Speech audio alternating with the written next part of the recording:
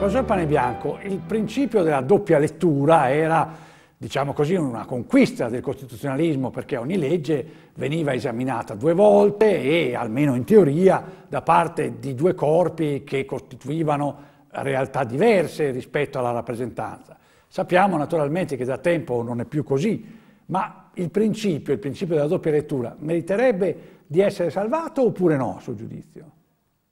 Credo che sia un principio completamente superato, tant'è vero che il parlamentarismo mh, contemporaneo si è orientato verso il superamento di questo meccanismo. Il, meccanismo. il principio era valido in teoria, ma poi in pratica ha prodotto troppi inconvenienti, troppe difficoltà, eh, troppe lentezze nel processo parlamentare e legislativo e quindi credo che senz'altro vada superato.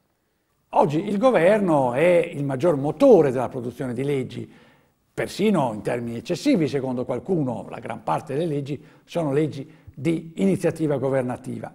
Eh, però poi siccome di fatto il governo adesso ha anche lui una legittimazione elettorale, si vota per il presidente A, per il presidente B, il passaggio parlamentare rischia di essere semplicemente sempre più una verifica della fiducia nei confronti del governo e della sua maggioranza. Come si può valutare questo nuovo panorama?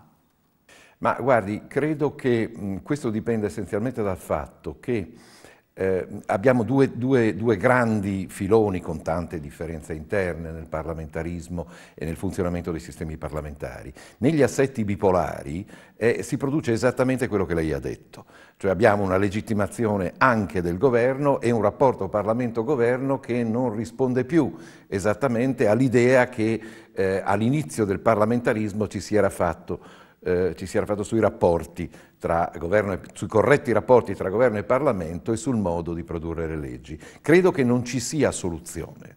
Eh, inevitabilmente, eh, se gli assetti sono bipolari o addirittura bipartitici, chi vota per un certo partito vota anche per il governo e a quel punto si, si determina quel rapporto governo-parlamento che si è detto. Fin quando si rimane all'interno della democrazia parlamentare, eh, eh allora non c'è, soluzione possibile. Altra cosa è naturalmente se si passa a setti presidenziali, semipresidenziali e così via. Il referendum è un istituto che per anni è stato lasciato, diciamo, a dormire, poi è divenuto per qualche decennio il motore della mobilitazione dei cittadini, poi è entrato di nuovo in uno stato di crisi. Come si può spiegare questa vicenda così complessa?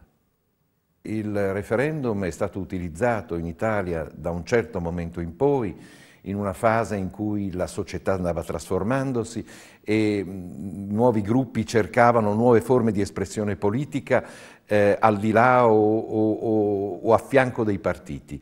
Eh, per una certa fase la, la, società italiana ha reagito positivamente alla novità, quindi eh, i cittadini hanno eh, accettato con entusiasmo questa nuova forma di espressione politica, poi è subentrata la stanchezza, eh, ora eh, probabilmente l'istituto è in crisi e richiede, ehm, richiede qualche intervento.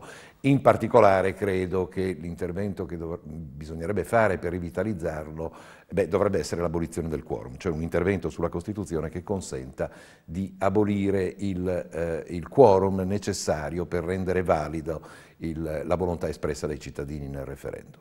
Mi scusi eh, eh se facciamo un'ultima osservazione finale, ma non c'è il rischio che l'abolizione del quorum del referendum, come lei ricordava, non favorisca in qualche modo una minoranza la quale riuscirebbe per questa via a imporre il suo volere ad una maggioranza relativamente o per niente interessata alla materia che si sottopone al referendum?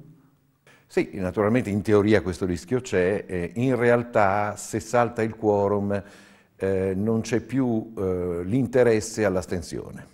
Eh, oggi l'astensione è di due tipi nei referendum, come abbiamo visto. Una è fisiologica, l'astensione di chi è disinteressato al problema, e questa è ovviamente ineliminabile, oltretutto questo disinteresse è francamente, credo, anche un diritto del cittadino.